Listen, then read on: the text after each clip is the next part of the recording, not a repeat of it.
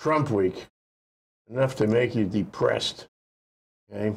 Um, so that's Tim Apicella, Cynthia Sinclair, and me, Jay Fidell, here on Think Tech, talking as we do at 11 every Friday on Trump Week.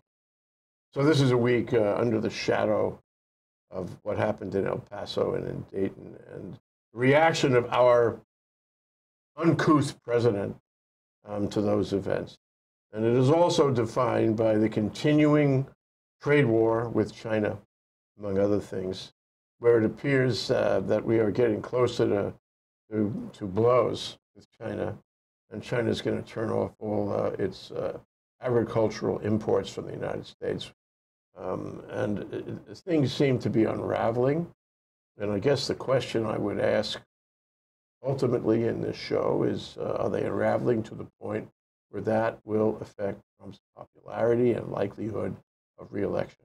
But first, Tim, let's talk about all the titles that we came up with in trying to in trying to take a look at what happened this week. Good morning. Thank you for having me. Um, yeah, let's talk about all the titles because there were so many that we had to you know, discount because we had to find the right one. And I think we did find the right one, and that is centered around Donald Trump's hate. And um, he could try to deny his hate as much as he wishes, that he is on record um, when he first became a candidate in 2015, all the way to um, at the rally where someone yelled out in the crowd, shoot him. And he smirked and he smiled and he said, only in the panhandle can you say things like that. Well, apparently not apparently uh, in all of Texas, um, this kind of attitude um, seems to reign. And it's, it's, it's tragic, and that's why the titles we came up with were Can Impeachment Wait? That was a possible title. Um, is hate just the beginning? How many more El Pasos in our future? Doubling down on hate, and our century is burning. Yeah, and our country. Ooh. So uh, let's talk about uh, Trump's reaction to what happened in El Paso and, and, Dayton. What are your thoughts on that? Well, there were lots of lies, first off. He um, tries to pin it all on mental illness, not putting any kind of responsibility on guns. Um, wouldn't want to make the NRA mad.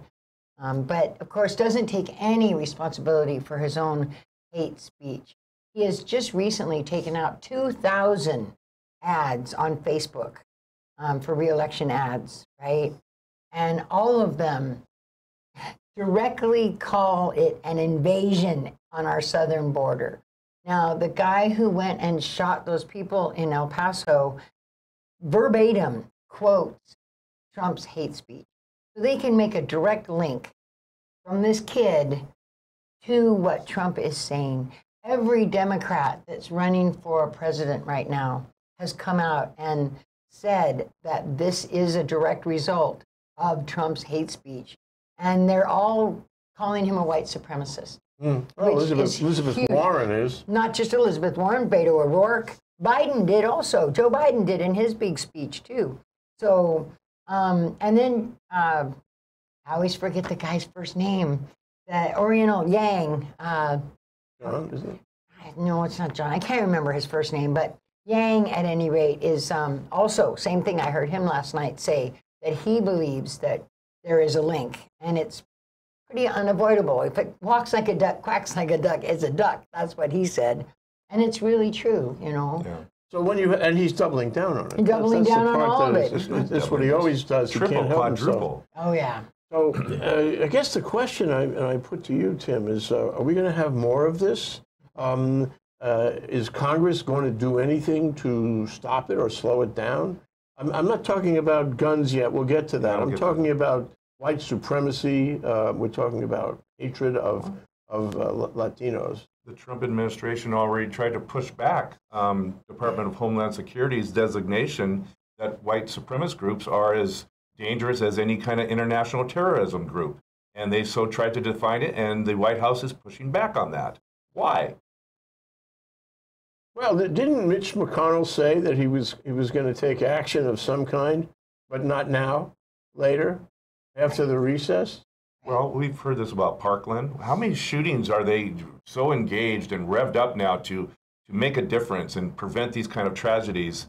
and these, you know, these hateful assassinations and, and, and murders, and to not, for no, nothing ever has followed through, because he knows the attention span of the American public is quite short. Yeah. So by the time they come back, there's something else gross will I think, happen. I, I, I think finally they did outlaw the bump stocks, um, uh, things that would allow a single shot into a multiple shot rifle. They, they did actually do something and they banned that. But it took a, it was an uphill, Herculean uh, effort to do so.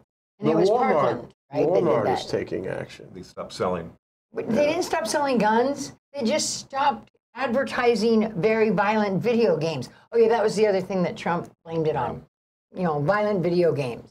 Yeah. Well, But let's- there's no there's no merit to that argument. Right. either. And there's no study that links them to that at all. I mean, it really is telling on some of his quotations. And yes, he's, you know, he deflected off his responsibility in his words through the last three years of demonizing, you know, immigrants, um, legal as- asylum applicants, uh, demonizing them. And basically, you're right, he took a left turn and said it's video games and mental illness. Um, 2018, June 2018, Democrats are the problem. Illegal immigrants um, matter how bad they may be to pour into and infest our country, um, like MS-13, they can't win on their terrible policies, so they view them as potential voters. And that's how he's tried to frame the argument that the Democrats want illegal immigration because they're going to be potential voters. It's an outrageous statement. It is ridiculous. I agree. So, So, so we have outrageous statements, and you want to talk about the photo? Let's bring, bring the photo up for a couple. So this photo has been going around. It's on social media. It started out with uh, apparently with uh, Ivanka's social media, and what you have is uh, the- Melania's. an- uh, Sorry.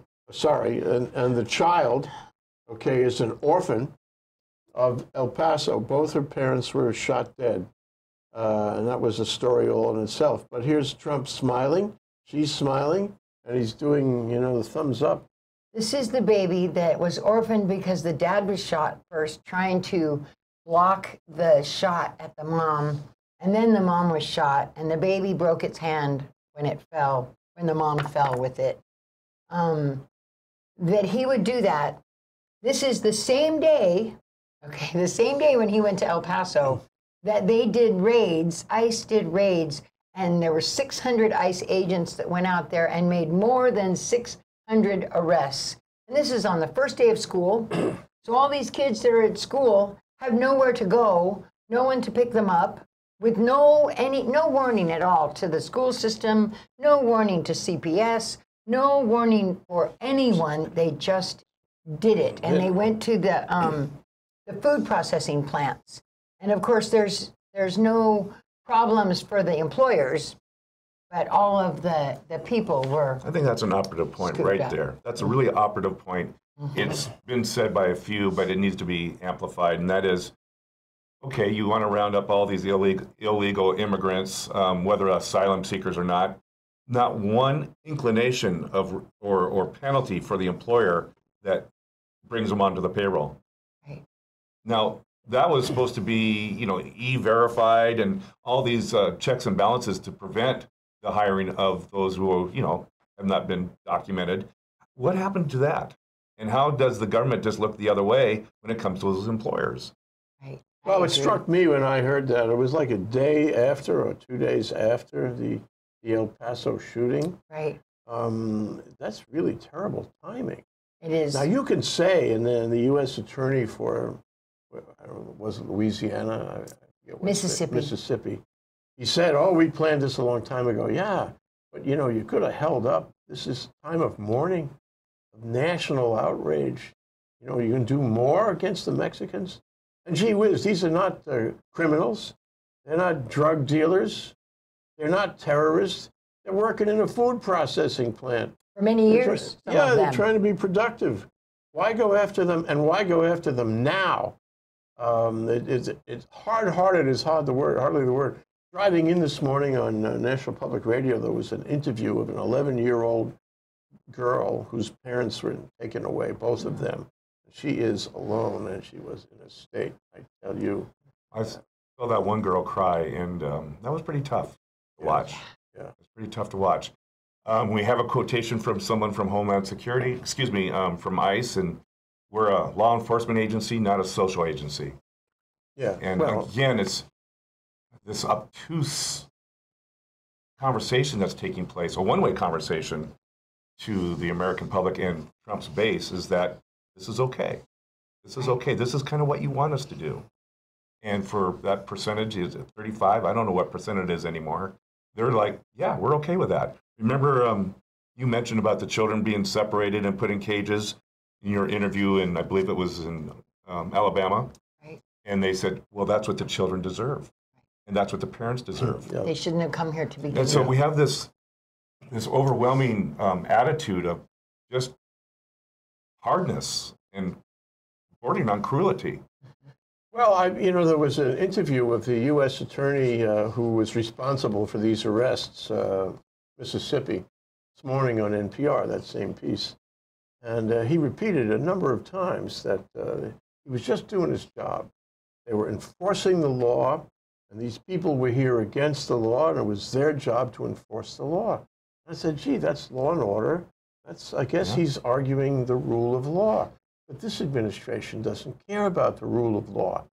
This administration breaks the law all the time. Look what's happening in Congress.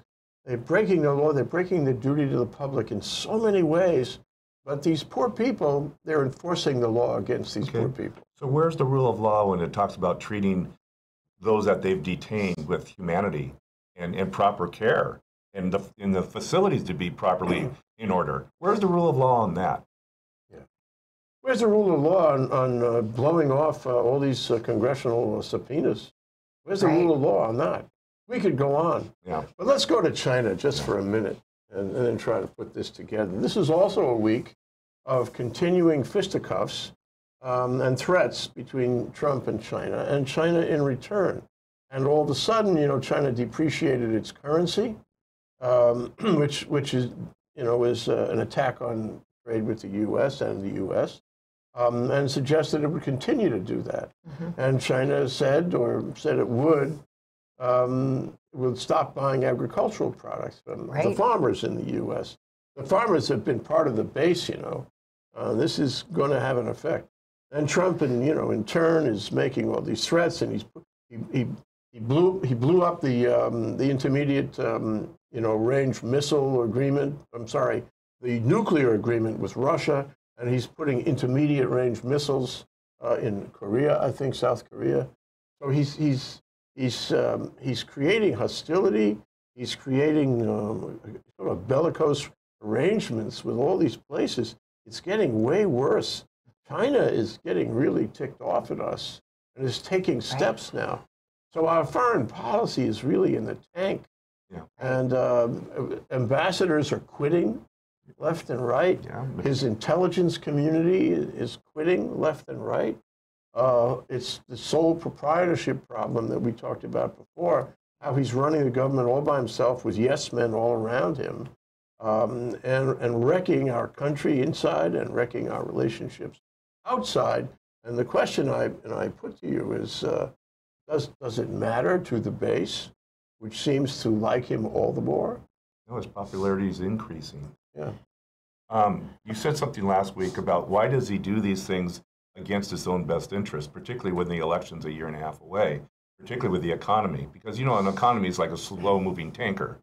Um, why is he implementing more tariffs that could potentially throw the economy down in a recession when he needs the economy to be um, buoyed and, and, and you know vibrant?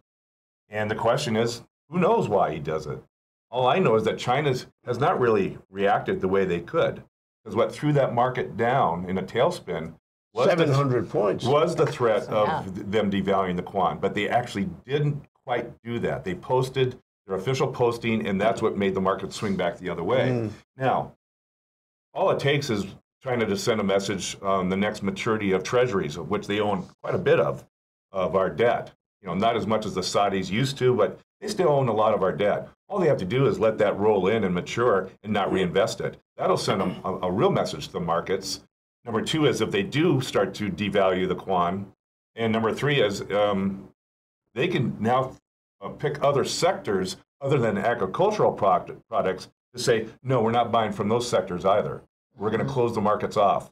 Now, if you're a farmer in the Midwest, I don't care how much subsidy you're getting from Donald Trump. At some point, you're going to go, I want to be a farmer and I want my market back. Well, when they were interviewed, Right. the farmers were interviewed. Right.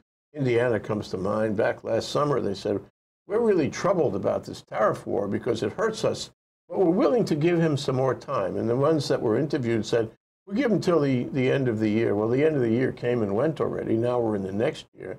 They're still with him. They still somehow believe he's going to come through. But, but really, the question is can, can this continue? Or are we going to find one day that they abandon ship? We're going to find one day that the Republicans in Congress abandon ship. Is it turning against him? Is it coming after him?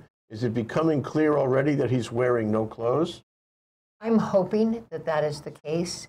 Um, I know that for a minute there, I got this sort of glimpse of optimism um, as I watched all this stuff happen over this weekend and everything that transpired. I thought, well, maybe it's going to finally catch up with him. But, you know, he's just going to lie. He's just going to cheat and he's just going to lie.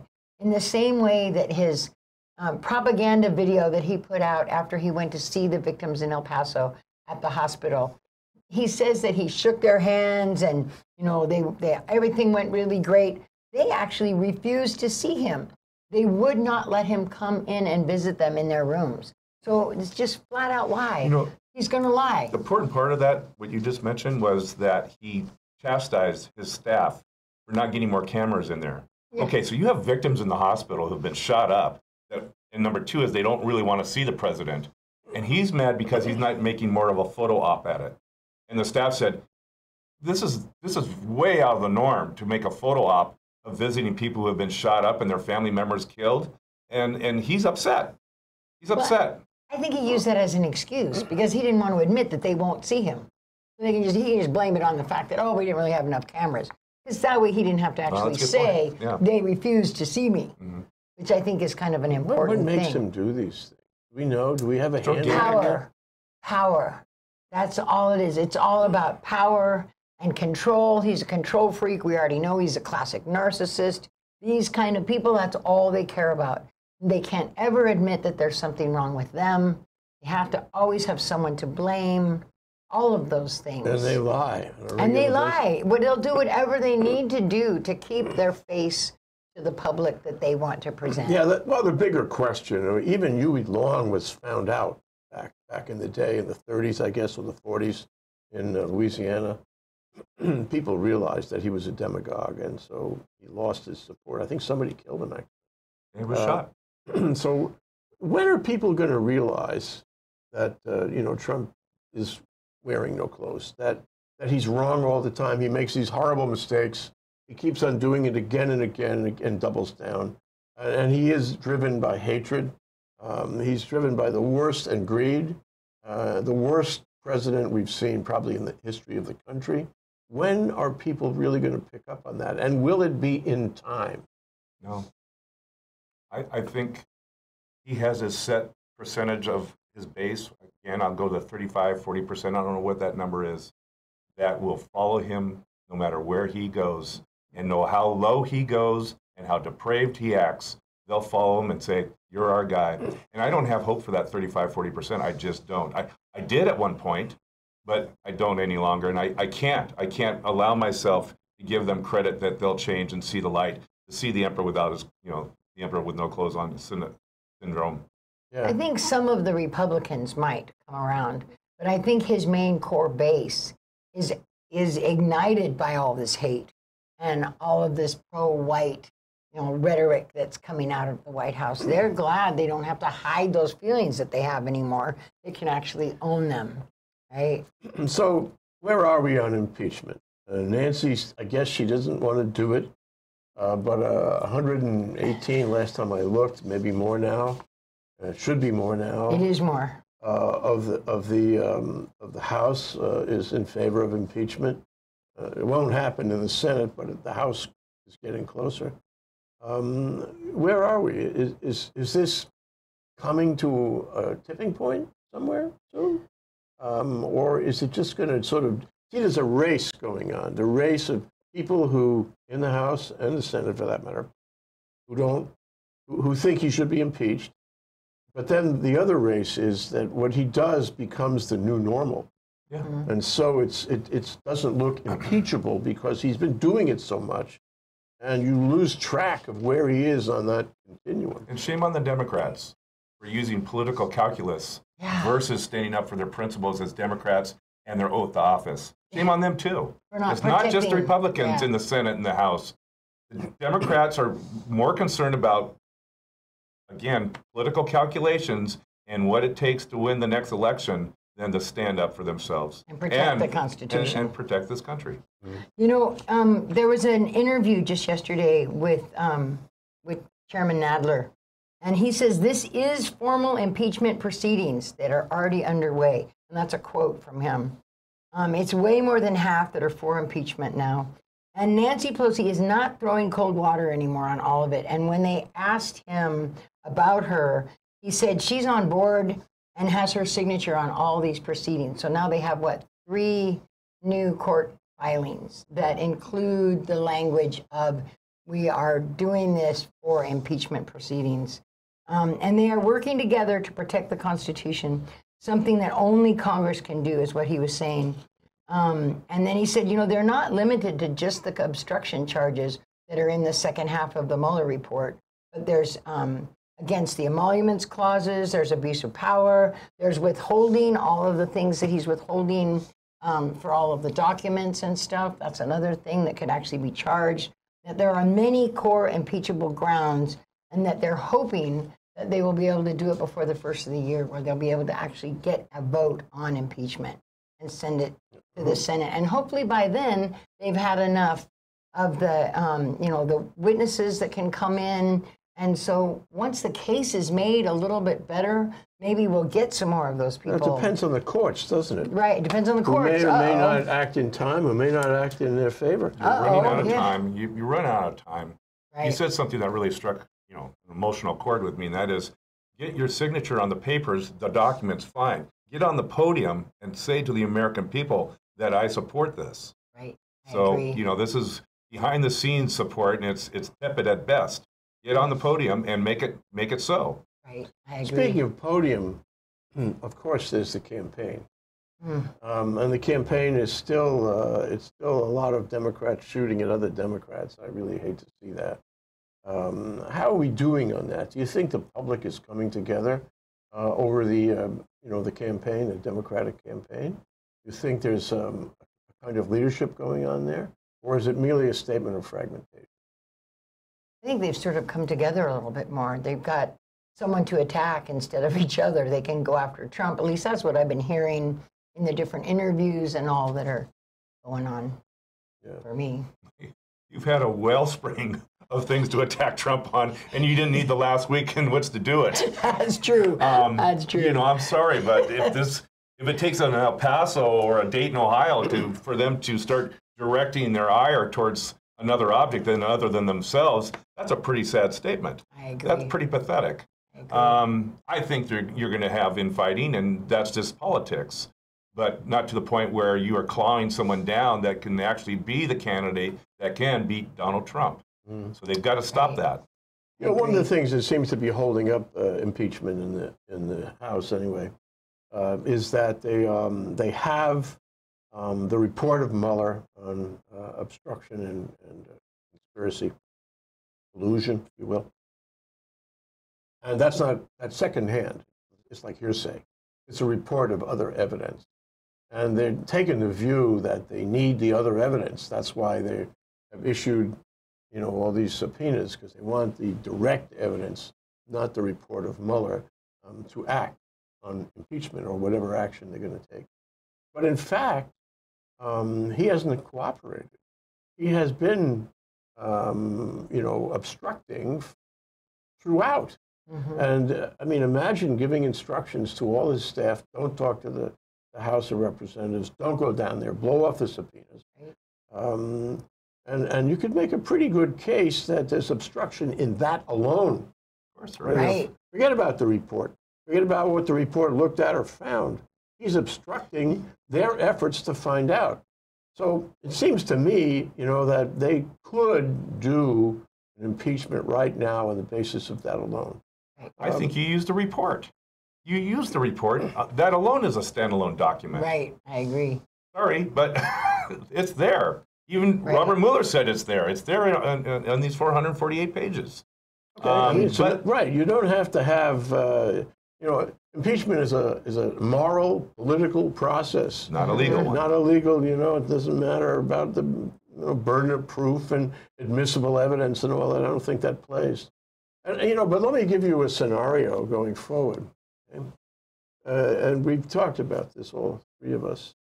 So, Dayton, El Paso, not the end of it. The white supremacist movement is there. Congress has done nothing to stop it. They're growing. Congress has n- done nothing to stop. Really, I mean, this, this, the bump stock thing is a, is sui generis. It's, Yeah. it's it's not really the big It deal. was Um, it has done nothing to stop the huge number of guns in this country. So many ways that could have happened, but they didn't do anything. Um, and Trump is out there fanning the flames. We have no action by Congress on either, you know, the white supremacist and hate movements, and you have, uh, or on gun control. And Trump is out there fanning the flames. And I have to add that social media has really not been stopped. It's still doing it. Uh, the Russians must be laughing up their sleeve about Well, this. that's the other thing the ultimate divisiveness, and and who knows how much involvement they have in this hatred business. Okay, so it's going to continue. Okay, there will be more El Pasos and more Daytons. Oh, yeah. Where does that play in accelerating, advancing, you know, the movement toward impeachment? Well, I think the more things that are, are happening that are completely um, connected to his hate speech, it's going to increase people coming behind the whole impeachment process. And I can only hope that all of the town hall meetings that you know our, our Congress is having now that they're back home in their districts, it is going to be just an outpouring of people saying, "Hey, we want impeachment and we want it now." And I think that was one of the things they're sort of waiting for that public groundswell that hasn't really happened because we've all been so desensitized to all of this hate for so long, right? That it's just going to keep going and Yeah. going and going. Well, Donald Trump says, and I quote, I've toned it down. I've toned it down quite a bit, meaning his rhetoric. Well, he was doing And it that was, before. that was his, his way of trying to explain that I'm not uh, uh, the speaker of hate, because I've toned it down. By saying I've toned it down means he acknowledges that he's done it. Yeah, Right? Absolutely. Okay, Yeah, I didn't so think about that. so remember, Donald Trump. Remember what he does? He runs up to the line. He gets in trouble. He runs back. Then he waits a while. He runs back up the line again. He sees how further much over the line he can crawl. And I say crawl with uh, emphasis. He And- crawls. And the process creates Right. a new normal. Right? which makes it hard for Congress to do anything. The other Right. element, and I want to ask you guys about this, my last point of inquiry, is that so we have we have violence going on around Iran. We have this very strange, peculiar, bizarre, beautiful letters, but also intermediate intermediate missiles coming from uh, North Korea. We have uh, a very strange and uh, threatening relationship with, with Russia, who not only is uh, uh, offending our relations, um, you know, rather our elections, uh, and you got to see that movie, uh, the the the Great The Hack. great hack. I was It just going shows to mention you it. about how they do that, um, how they did it and are doing it now, and the tearing up of the nuclear treaty with them. Um, we're talking about uh, so many places in the world, um, or China, you know, which is getting more angry at us. The people on the street getting more angry, and the steps that the government is taking against us more draconian. And this, the heat is going up in all of these places. Any one of them, they're all tinderboxes. Any one of them could erupt in uh, fantastic um, battles and wars and attacks. Okay, how does that play in the possibility of impeachment? You know, because because Trump will say, "You need me. It's a national emergency. Right. Um, you you know you you, you don't want to lose your sitting president uh, during time of war or you know military action. How does that affect the possibility of impeachment? the argument is you created this mess. Your leadership is the, the problem. And therefore, it's your leadership that is in question when we take this impeachment vote. Whether we're successful or not isn't the point. The point is we're going to stand up for a principle, preserve the rule of law and the Constitution. Period. in hopes, in our fondest hopes, I think that's the case. But you know, about that great hack, which is a really, really amazingly enlightening show that I think everybody should watch because it really talks to how the algorithms are being used by some of these social media companies. They can tell not just where you are and what you like to shop for, but whether you're a Democrat or a Republican, whether you are a hardcore Republican, whether there's room for you to be, you know, changed on your attitude and what they need to send you to try to gently nudge you in that direction.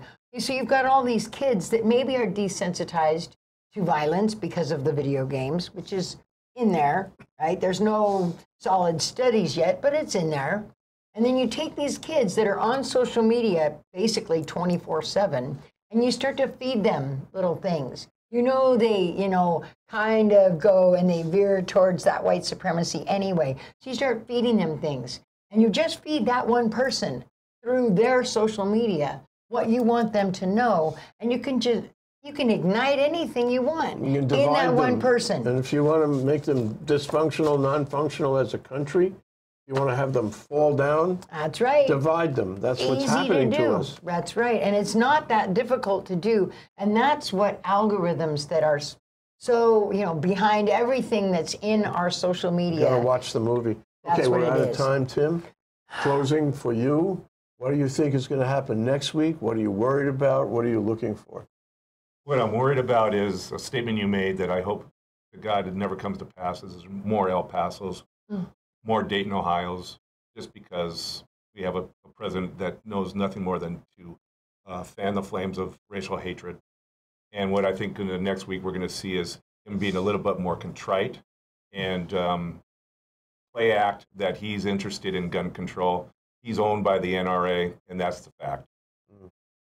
He may not be able to control what he has started. There's a wildfire burning in this country.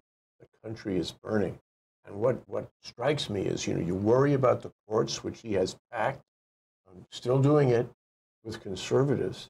The wildfire may be visible to them. They may decide they have to act in order to save the country. I hope they have the baseline patriotism to actually see this. That would be nice. Thank you, Tim. Thank you, Thank you Cynthia. very much. Thank you, Jay. Next week, Aloha. aloha. Aloha.